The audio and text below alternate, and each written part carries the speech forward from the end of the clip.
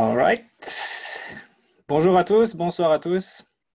Bienvenue à cette formation de Kujin sur neuf semaines ou sur un soir. Ça dépend de, ça dépend de votre, de votre décision. Vous choisissez en fait euh, qu'est-ce que vous allez, euh, comment vous allez faire cette, euh, cette formation.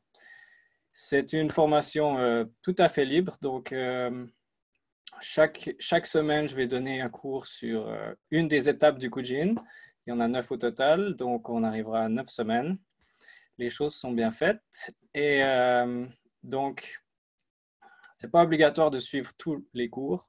Euh, chaque cours sera fait de manière à ce qu'il soit possible de le suivre euh, sans avoir suivi auparavant. Donc voilà, vous êtes libre.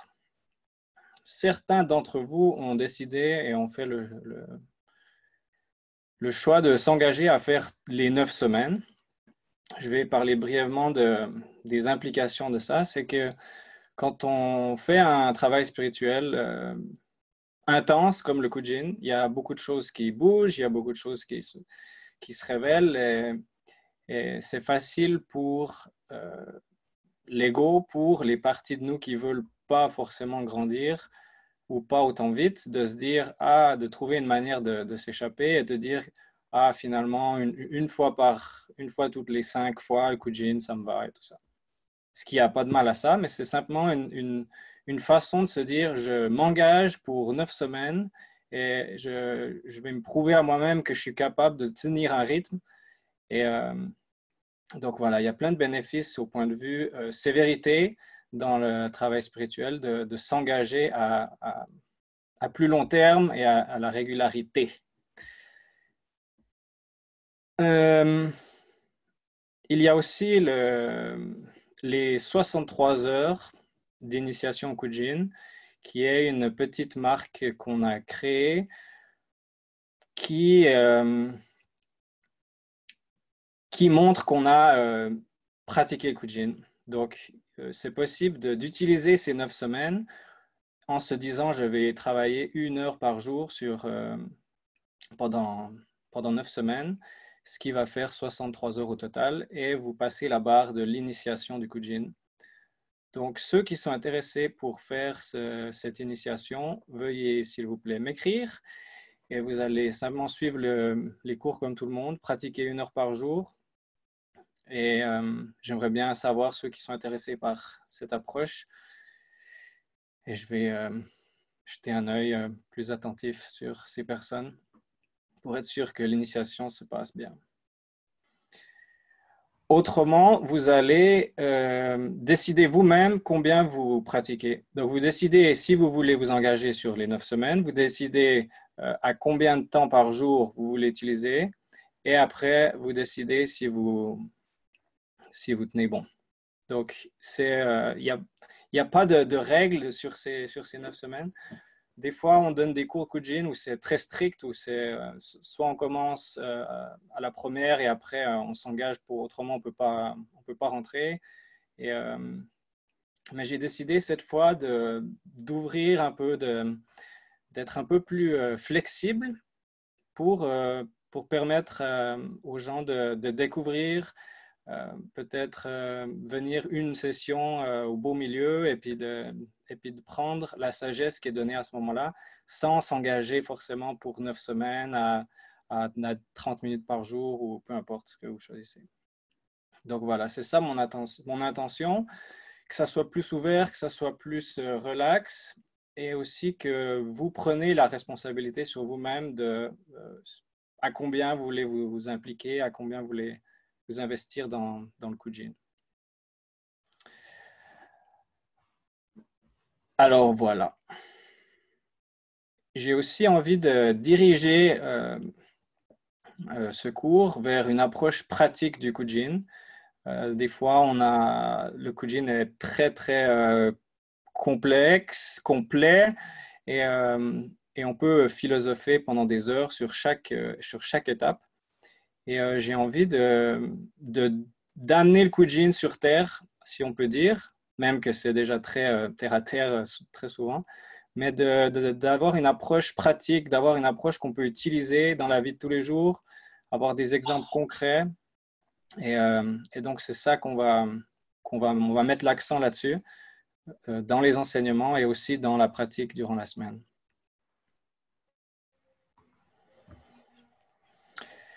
Alors, euh, voilà, durant les cours, euh, si vous avez des questions, vous, êtes, vous pouvez volontiers soit les écrire dans le chat, soit euh, je vais laisser des moments où il y aura, on pourra poser des questions.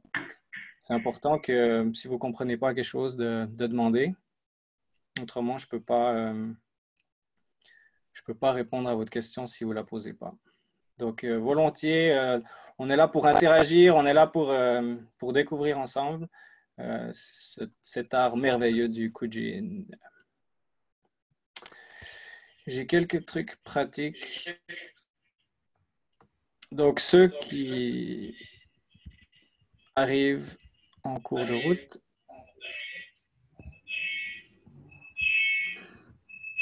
Ok, le son n'est pas terrible.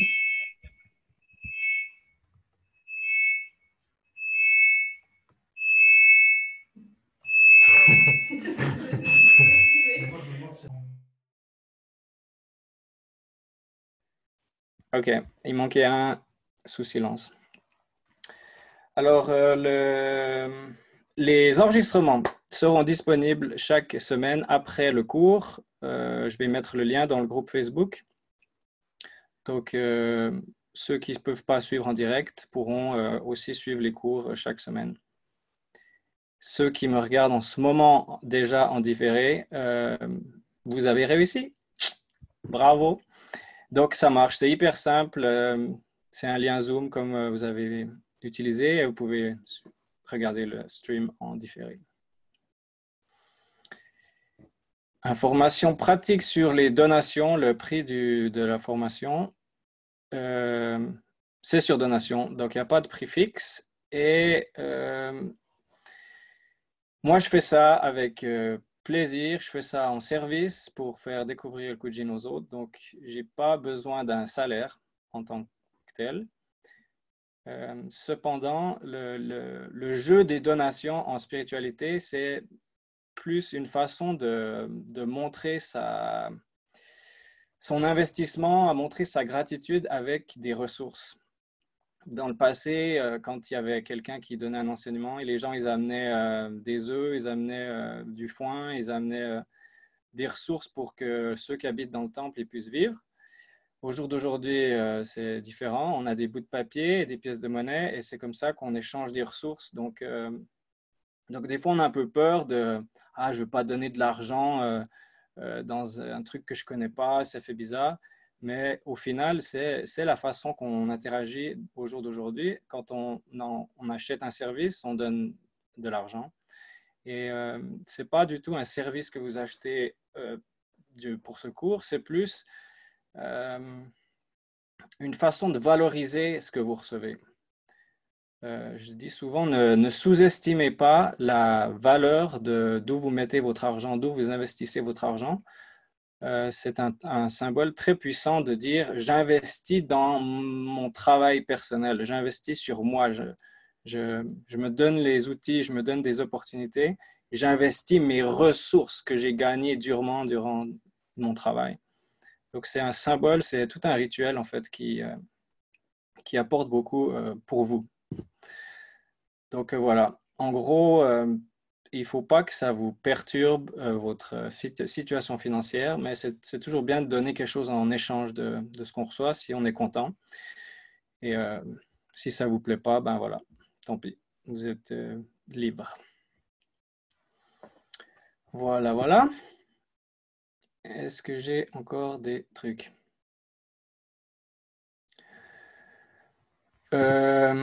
Pour ceux qui ne connaissent pas le langage euh, qu'on va utiliser de geek un peu spirituel, euh, il y a toujours un moyen de, traduire ces, mots spéciaux, mantra, mandala, chakra, euh, en des termes qui peut-être vous correspondent mieux ou des termes qui sont plus terre-à-terre, plus scientifiques. Et je vous invite à passer au-delà de, des termes qu'on utilise. C'est pas qu'on est une secte ou euh,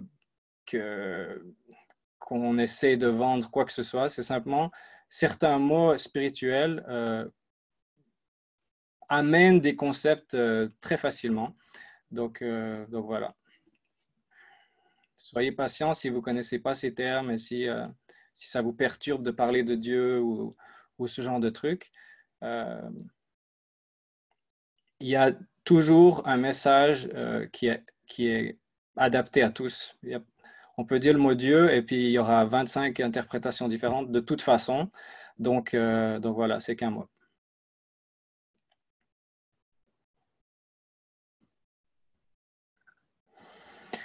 OK, donc euh, on respire.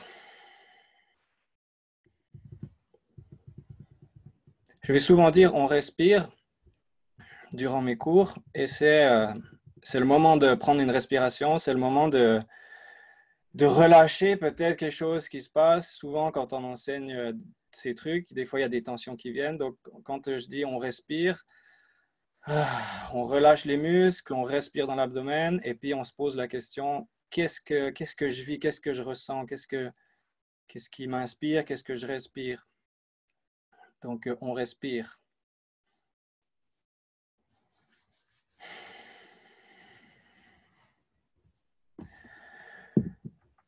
Kujin, le sujet du moment. Kuji, ça veut dire les neuf syllabes. In, ça veut dire le sceau ou le signe. Le signe de la main, comme le langage des signes. Euh, on va utiliser des signes qu'on appelle aussi des mudras, par exemple. Ça, c'est un mudra. Donc, les neuf syllabes, les, les mudras des neuf syllabes, en gros, Kuji. Kujin, c'est un art qui est très très vieux, qui a été pratiqué il y a, longtemps par euh, un groupe d'hindous. Et euh, c'est une euh, technique, c'est une pratique qui n'a pas été adoptée par les courants, les courants, disons, mainstream, les, grandes écoles de spiritualité de l'époque, car c'était un peu trop un peu trop marginal peut-être. Donc, euh, c'est, je pense, un avantage pour nous, c'est que ça n'a jamais été vraiment euh, modelé ou, arrondir les, angles pour, euh, pour que, ça, ça rentre dans un système scolaire. Donc, il y a beaucoup de, l'essence du Kujin qui a pu survivre grâce à ça, qui a été transmis par, par les, les taoïstes qui a été euh, ensuite euh, utilisé, euh, qui a été déplacé en Chine et qui a été pratiqué par les, les des moines bouddhistes et ensuite qui a été importé au Japon où il a été rendu célèbre dans les films de, films de ninja japonais où on voit les ninjas qui, qui se préparent pour le, le combat du lendemain en faisant du kujin. Et, mais au final, c'est pas japonais du tout ça a été euh, importé au Japon que très, euh, très récemment. Donc le Kujin à la base, c'était un rituel, c'était une, une, façon de rendre hommage au dieu Indra, un dieu hindou, Indra, qui est, euh, qui est le qu'on appelle le dieu des dieux mineurs. On peut faire un parallèle avec la, la mythologie euh, romaine avec Zeus, qui est le dieu des autres dieux sur le, la montagne, dont j'ai oublié le nom. Donc Zeus est aussi un dieu mineur dans le sens que Zeus, il a aussi des parents. Si on continue dans la mythologie, Zeus, il a des parents. C'est pas le dieu ultime qui a tout créé qu'on appelle Brahma chez les hindous. Ce n'est pas un dieu universel euh, comme Brahma, Vishnu, Shiva chez les hindous, qui sont des concepts universels qui s'appliquent à tout l'univers. Brahma, qui est ce qui a tout créé, le créateur. Donc tout ce qu'on peut percevoir et vivre et expérimenter tout objet dans l'univers, c'est pas Brahma parce que c'est quelque chose qui est créé. Brahma, c'est quelque chose qui est au-delà de tout ce qu'on peut imaginer, de tout ce qu'on peut. C'est ce qui a créé tout ce qu'on peut voir et expérimenter. Et ce qu'il a créé, c'est Vishnu. Et euh, Shiva, c'est toute la conscience qui bouge dans l'univers. Donc tous ces concepts, c'est des concepts super euh, universels euh, subtil à, saisir vraiment en expérience. Mais on peut comprendre intellectuellement que c'est un niveau plus élevé de, de concept et de philosophie et de, Dieu, un Dieu supérieur, grand et qui englobe tout. Tandis que Indra, le dieu des dieux mineurs, l'enfant de Gaïa euh, et de Chronos, donc pour Zeus, donc il y a eu quelque chose avant et, ce dieu, il arrive comme un produit déjà des dieux. Donc Indra, c'est le gars qui, c'est l'aspect divin de, de l'expérience, de ton expérience maintenant, de notre expérience, de chaque expérience, de chaque âme, il y a une partie divine dans euh, ce qu'on expérimente. Et c'est ça qu'on appelle Indra. Indra, c'est le, c'est le gars qui a un Vajra dans les mains, un peu comme Zeus qui a l'éclair, Zeus qui balance son éclair sur Terre. Et puis après, nous, pauvres humains, qui dit Oh, oh, oh qui reçoit un éclair sur la gueule. Et euh, c'est Zeus qui l'a envoyé. Donc on peut dire Ah, c'est la faute à Zeus, c'est la faute à Dieu si ma vie ne euh, va pas dans la direction que je veux. C'est comme ça qu'on marche, c'est comme ça que les humains ils fonctionnent. Ils, ils, blâment les éclairs qui tombent du ciel quand ça leur plaît pas. Donc on respire. Et Indra, il n'a pas un éclair, il a un Vajra. C'est quoi un Vajra? J'en ai un là.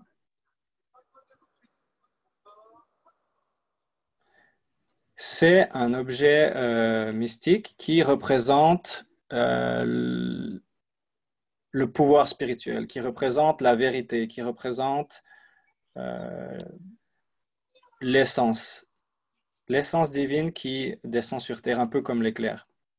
D'ailleurs, une des traductions de Vajra, c'est éclair. Donc, Indra, c'est le gars qui a le Vajra dans ses mains. C'est le gars qui euh, est proche de l'expérience humaine. Donc, c'est un, une divinité compris, mais elle reste locale on peut aussi dire que c'est notre, notre divinité individuelle.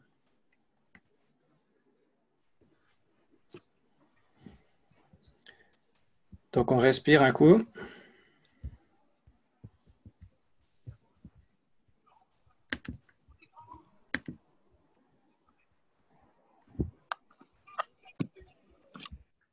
Ah, j'ai trouvé le bouton. Parfait. Donc le Kujin à la base, qui rendait hommage et qui rendait euh, grâce à Indra, c'était en fait une euh, métaphore ou un symbole pour dire on va découvrir, on va, on va s'imprégner, on va entrer en communication avec notre partie euh, plus élevée, la, plus partie la, plus élevée de nous-mêmes. Donc si la partie divine, c'est un mot qui, qui, qui ne vous convient pas, vous pouvez penser votre être le plus raffiné, votre être le plus, euh, le plus haut, le plus, euh, votre être profond, ce qui vit toutes vos expériences. Donc, comme base de travail, c'était pas trop mal. Kujin. Découvrons quelle est notre, euh, notre, notre essence. C'est pas mal comme intention et ils ont créé neuf étapes pour euh, qui, qui va nous, nous montrer différents aspects, différents angles et différents niveaux d'expérience et de, de sagesse.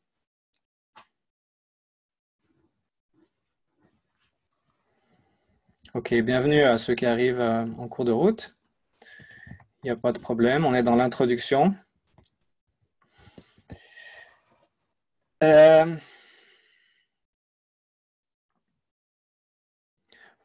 on va faire une petite contemplation ensemble.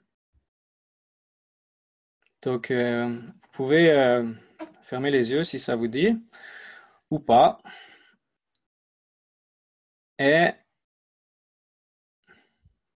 Observez qu'est-ce que ça veut dire pour vous, votre divinité.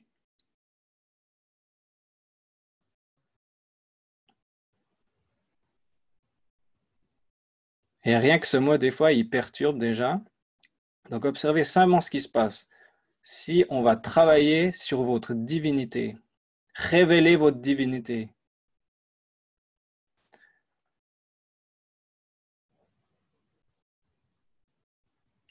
vous observez ce qui se passe.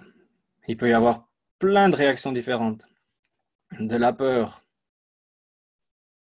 de ne pas comprendre ce mot, de ne pas savoir ce que ça veut dire, de la joie de vouloir découvrir, de la curiosité. Simplement respirer et observer qu'est-ce que ça qu'est-ce que ça invoque, votre divinité, votre, votre être le plus profond.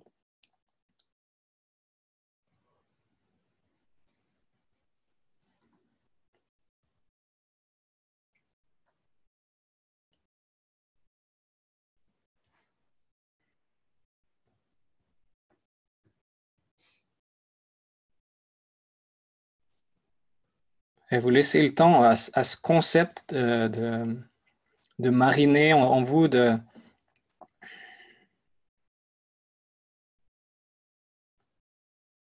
peut-être de poser la question, c'est quoi ma partie divine? C'est quoi moi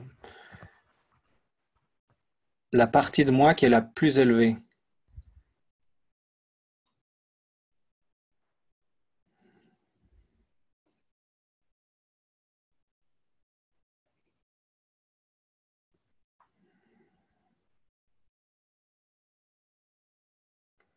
Peut y avoir un sentiment de, que ça nous manque, cette partie.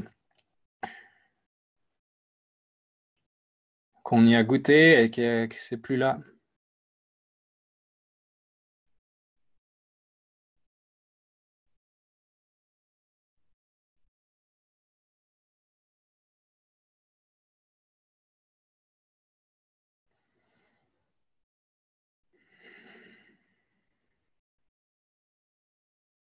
Aussi, il y a souvent une partie qui dit partie divine. Non, non, non, non.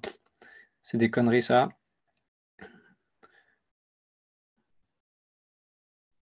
Simplement apprécier ce moment. Et on, s'imagine comme les premiers pratiquants du Kujin qui se disent on va aller découvrir notre partie divine, notre partie, notre être, notre nature, notre essence. On est là sur la ligne de départ.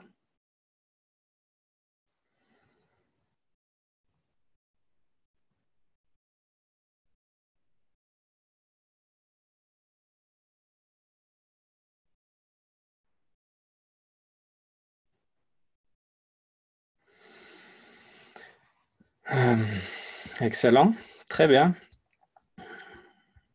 Très très bien. On revient gentiment là, on respire.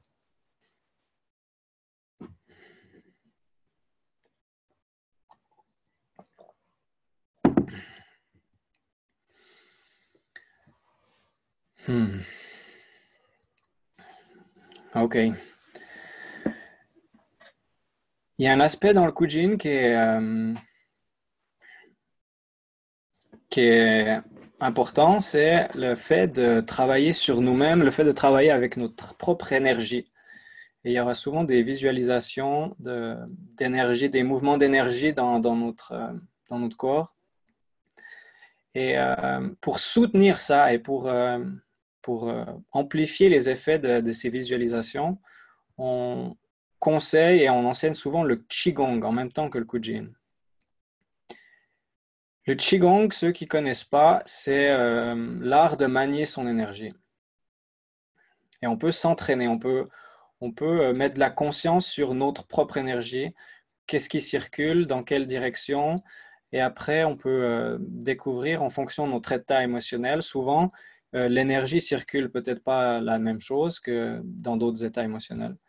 Donc, euh, l'énergie dans notre corps a beaucoup d'influence sur le, fait qu'on se sente fatigué, qu'on se sente en santé, qu'on se sente, euh, qu'on puisse peut-être plus exprimer nos, états d'être quand, notre énergie est en mouvement. Et c'est d'autant plus efficace pour toutes sortes de travail spirituel de visualisation et de méditation.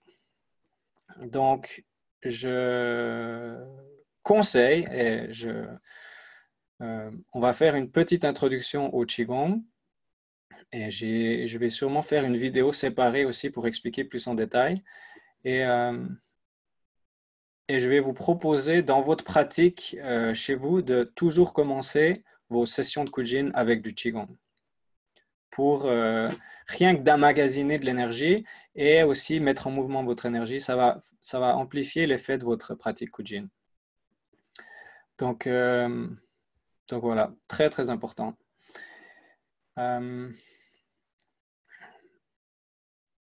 Et ce qui fait que le Kujin est autant efficace, il y a beaucoup de gens qui ont témoigné des, résultats euh, euh, très probants. Euh, et, les ninjas, les samouraïs, ils utilisaient ça pour, le, pour développer des pouvoirs surnaturels.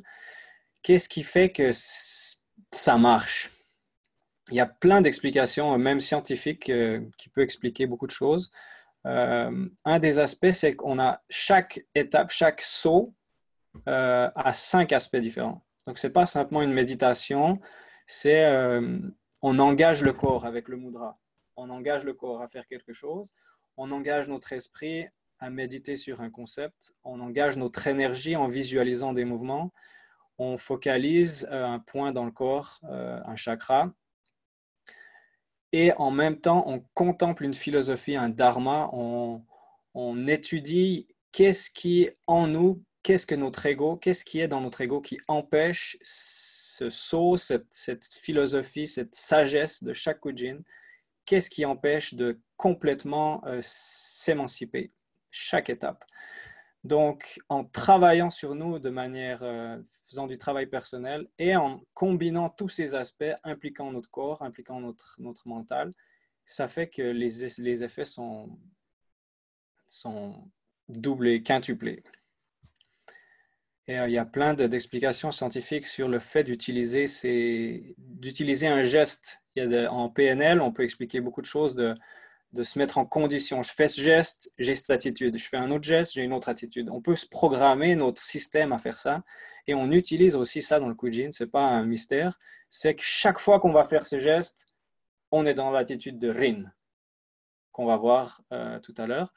Et ça, ça bâtit euh, un potentiel dans notre propre système qui, euh, qui ajoute encore à cet effet, qui fait que chaque autre aspect, composant, est plus stable et peut se combiner encore mieux.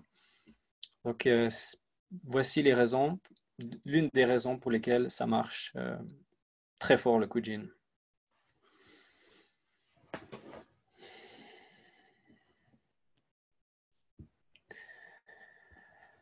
Donc, un aspect encore que j'ai envie d'amener, c'est euh, l'application pratique. Ça va être le truc nouveau de, ce cours, c'est de, chaque fois trouver une application pratique euh, au thème du jour, au, au saut du jour. Donc, je vous invite à, disons, prenons un exemple, si vous décidez de pratiquer une heure par jour, je vous invite à prendre, disons, 5-10 minutes de Qigong, Ensuite, 30 minutes de Kujin pur avec les cinq aspects. Et ensuite, 20 minutes de contemplation euh, sur la sagesse et sur votre quotidien, sur votre... on va prendre la journée qui s'est passée ou la journée d'hier et on va se dire comment est-ce que euh, j'ai appliqué ou comment cette sagesse euh, s'applique à ma situation quotidienne ce que, comment était mon attitude durant cette journée? Et on va essayer de se mettre dans notre quotidien, de prendre cette pratique et de, de comparer, d'étudier ce qu'on vit euh, dans notre vie. Et c'est souvent euh, quelque chose, une erreur que, que, beaucoup font. C'est euh, moi le premier, de dire j'ai ma pratique spirituelle d'un côté, et puis bon, après, je vais travailler. Et puis, c'est deux choses séparées. Et on va essayer durant ces neuf semaines de dire, je vais travailler comment est-ce que ma pratique spirituelle, le concept que j'ai appris ou le concept sur lequel je travaille s'applique dans mon travail, s'applique dans ma relation avec mes proches et tout ça. Donc, ça va être euh, un petit challenge et aussi euh, une nouvelle approche euh, du Kujin de, de, prendre ça et de l'amener dans notre quotidien. Donc, c'est c'est une proposition que je fais. les, sur une heure, ce serait 5-10 minutes de Qigong.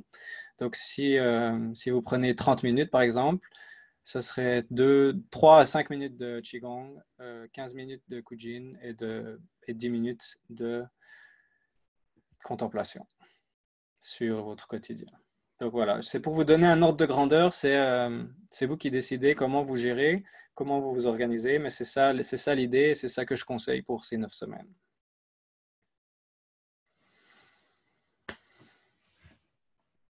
Hmm.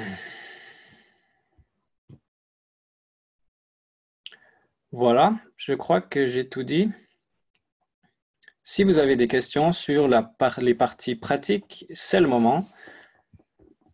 Donc, vous pouvez écrire dans le chat euh, s'il y a quelque chose qui n'est pas clair.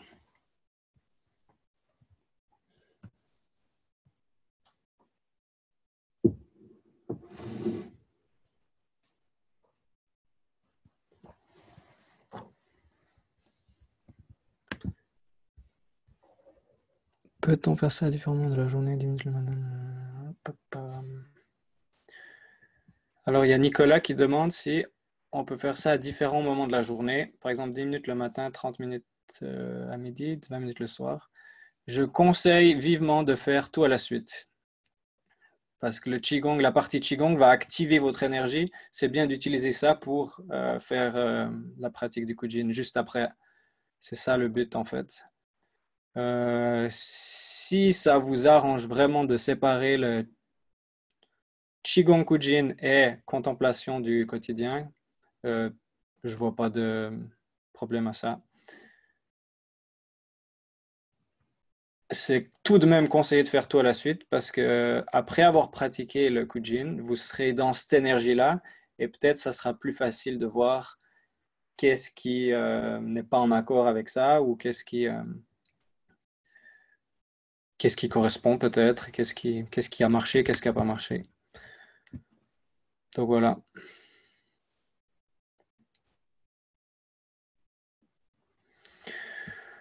Cool. Donc, euh, de toute façon, s'il y a des questions, peu importe, euh, durant la semaine, vous êtes, euh, vous on a un groupe Facebook, donc c'est comme ça qu'on va interagir.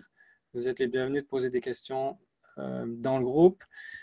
Si vous avez des questions personnelles, vous pouvez aussi les envoyer à moi personnellement.